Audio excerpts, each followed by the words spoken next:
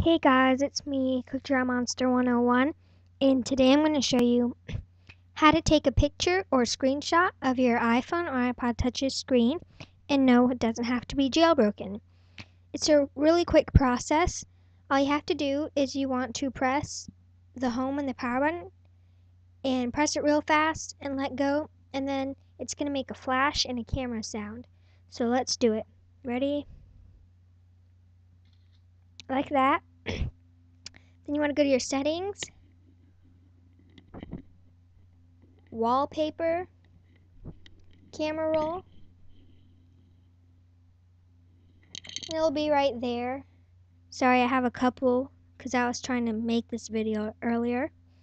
And then you could set it, like you can move it up and down and set it like you want the picture like that. And that's how you take a screenshot or a picture of your iPhone or iPod Touch's screen.